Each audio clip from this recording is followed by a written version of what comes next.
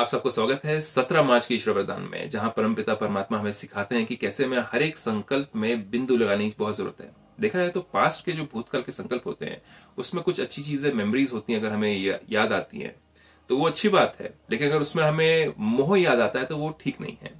उसी तरीके से अगर हमें कुछ ऐसे क्षण याद आते हैं जिसमें किसी ने हमें दुख दिया हो, कुछ बोला हो, हमारे साथ कुछ जाति करी हो, कुछ हमारा धन, संपत्ति, तन, मन, धन या संबंधों में उन्होंने चोट पहुंचाई हो तो उसको बार बार याद करना और फुल स्टॉप ना लगाना, फिर भी क्या होता है? दुख तो होता ही है। तो इसलिए परमात्मा आज इस फुल स्टॉप या बिंदु या प्रकाश या डॉट के बारे में आज सिखा रहे हैं हमें कि कैसे हमें इसको इस्तेमाल करना चाहिए ताकि हमारा जो अभी का समय वर्तमान काल और भविष्य काल हमारा सदा सुखद रहे और जो इस समय हम भावनाएँ लेके चल रहे हैं, वो हमारी भविष्य में ना पहुँच जाए नेगेटिव भावनाएँ। हम अपने पास्ट से डिटैच हो प्रेजेंट में एंजॉय करें और आगे जाकर के हमारा फ्यूचर भी इस प्रेजेंट के हिसाब से बनता जाए। तो परमात्मा कहते हैं, बिंदु की मात्रा के महत्व को जान। बीती को बिंदी, बीती बातों को बिंदी लगाने वाले सहज योगी। अगर पास्ट की बातों में अगर हम रमण करेंगे तो फिर परमात्मा की याद में कब रमण करेंगे? इसलिए बिंदी लगाना बहुत ज़रूरत है और इसकी प्रैक्टिस करने की बहुत ज़रूरत है। ब्रेक लगाना पहले भी गाड़ी में हर किसी को सही टाइम पर नहीं आता है। पता नहीं होता कि आगे वाली गाड़ी कितनी स्पीड में जा रही है, हम कितनी स्पीड में जा रहे हैं। तो ब्रेक लगाया, हो सकता है इतना कस के दबा दिया हो कि पीछे वाली गाड़ी ना के ठोक दिया। है ना? कभी कभी क्या होता है, फिर आस्ते आस्ते क्या होता है अच्छा इतना तेज नहीं लगानी ब्रेक में को थोड़े आस्ते से ब्रेक लगानी ताकि मैं आगे की गाड़ी और पीछे की गाड़ी के बीच में आकर रुकूँ। मैं ये सारी चीज़ें उसी तरीके से, जैसे कि हमें पास की बातों पर फुल स्टॉप लगाना कभी कभी हम फुल स्टॉप लगा देते हैं लेकिन लगता नहीं फुल स्टॉप फिर हम और ज़ोर से फुल स्टॉप लगाते हैं फिर नहीं लगता। ये भी क्या है, एक सीखने का तरीका है कि मेरी जो भावनाएँ हैं, उन भावनाओं में फुल स्टॉप कब लगता है, क्या सोचने से? ये हर एक की गाड़ी, आत्मारूपी गाड़ी की अपनी ब्रेक है। तो इसलिए परमात्मा कहते हैं, सबसे सरल मात्रा बिंदी है। क्वेश्चन मार्क भी इतना सरल नहीं है, बहुत लंबा घुमाना पड़ता है। और एक्सक्लेमेशन मार्क जो होता है, आपको उसको भी लंबा करना पड़ता है, फिर डॉट लगाना पड़ता है, लेकिन बिंदी, एक बस टच किया पेपर पर बिंदी लग गई। बाप दादा बाप भी बिंदी है। देखिए आप जैसे प्रकाश बिंदी है और दादा, प्रभु भी प्रकाश है, स्वरूप है, बिंदी स्वरूप है। बाप, दादा सिर्फ़ बिंदी का हिसाब बताते हैं। सारे शरीर का हिसाब क्यों बताएँगे वो? स्वयं भी बिंदु रूप बनो, खुद भी बिंदु रूप, मैं आत्मा हूँ, प्रकाश हूँ, मेरा कुछ भी नहीं है। ना शरीर मेरा है, ना शरीर के संबंधी मेरे हैं, जिनके ऊपर नाम पड़े हुए हैं, और ना ही शरीर से संबंधित सर्टिफिकेशन और प्राप्तियाँ और प्रॉपर्टी के पेपर्स और ये सारे धन संपत्ति बैंक अकाउंट ये कुछ भी मेरा नहीं है। इधर तक सोच जानी चाहिए, तभी बिंदी लगेगी। नहीं तो फिर क्या होगा? हाई क्या हो गया? हाई किसने ले लिया? हाई मेरा वो था। ये तो मेरी चीज़ है।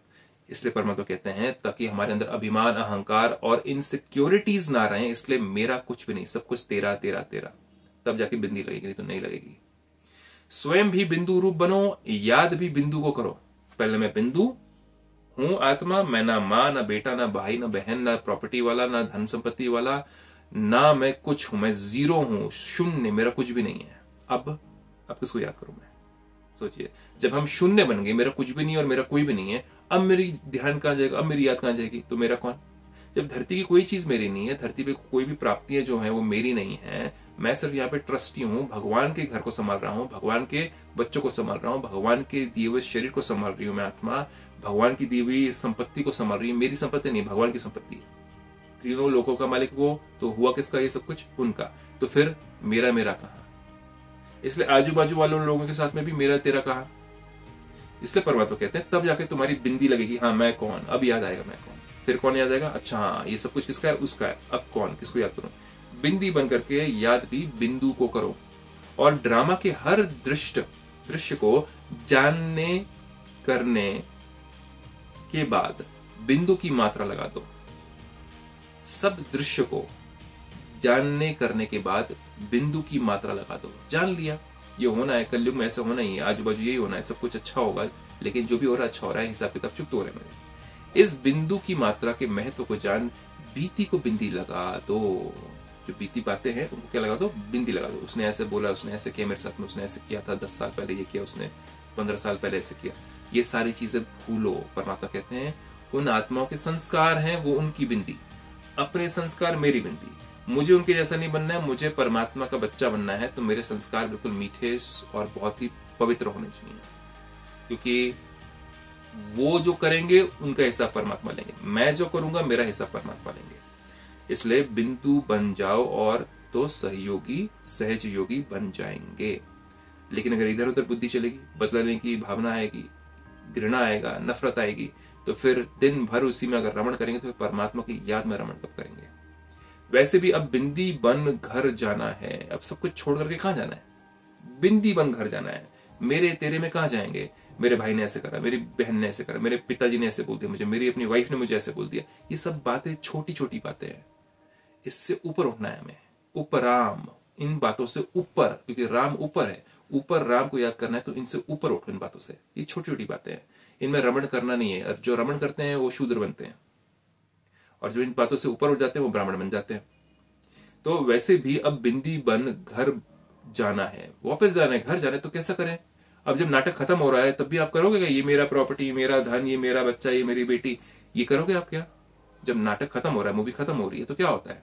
सब कुछ छूट जाता है। मेरा तेरा खत्म हो जाता है। इसलिए घर में जब, घर में सब बिंदु रूप में रहते, जहाँ ऊपर परम धाम में कैसे रहते हैं? बिंदु, शरीर भी नहीं होता हमारा। जहाँ संकल्प, कर्म, संस्कार सब मर्ज हैं। इमर्ज सुनना होंगे वहाँ पे, जब शरीर ही नहीं तो वहाँ पे आप क्या बोलोगे किसी से? कौन भाई, कौन बहन, कौन पति, कौन बच्चा, कौन बच्ची, कौन होता है, वहाँ पर कुछ भी नहीं। वो सारा नाटक सिर्फ़ यहाँ चल रहा होता है। तो इसलिए परमात्मा कह रहे हैं कि अगर तुम्हें वापस जाना है तो अपने इस पार्ट को, अपने ये एक्टिंग को चेंज करो। क्योंकि अब वापस जाने के समय पे कोई भाई नहीं, कोई बहन नहीं, कोई बंधु नहीं। मूवी खत्म होने वाली है। अब कौन भाई? अब कौन बहन? अब कौन बेटा? अब कौन बेटी? अब कौन पति? अब कौन पत्नी? सब आत्माएँ हैं, बिंदु हैं, सब वापस जाएँगे ऊपर वापस। कर्म संस्कार सब मर्ज करो। ये मर्ज मत करो। अब क्या करो? मर्ज करो। काटते जाओ काटते जाओ। सब जगह से संबंध अपने काटते जाओ। काटते जाओ मतलब ये नहीं कि लोगों के साथ संबंध ही खराब कर दो वो नहीं। काटना मतलब जब मेरा कोई भाई नहीं मेरी कोई बहन नहीं, कोई मेरा पति नहीं, कोई मेरी पत्नी नहीं, उन उन सब आत्माओं को मैं ख्याल रखते हुए उनसे कुछ भी मुझे इच्छा नहीं। अरे, पति ने ऐसा नहीं किया मेरे अरे, मेरी वाइफ ने मेरे लिए इतना नहीं किया। मेरे भाई ने मेरा ख्याल नहीं रखा। मेरी बहन ने मेरे को पूछा नहीं। ये चीज़ें काटो। ये चीज़ों काटोगे तब जाके बंधन छूटेंगे हल्के होंगे। और कौन याद आएगा परमात्मा? नहीं तो अगर दुखी हो गए, इसने नहीं किया मेरे लिए, उसने काम नहीं किया मेरे लिए, ये नहीं किया, उसने मेरे को देखा नहीं, उसने मेरे को पूछा नहीं तो फिर परमात्मा कब याद आएगा? फिर सहज योग नहीं होगा, फिर मुश्किल वाला योग होगा। ये सारी चीज़ आपको परमात्मा सिखाते हैं, ब्रह्मा कुमारी इसमें आकर के।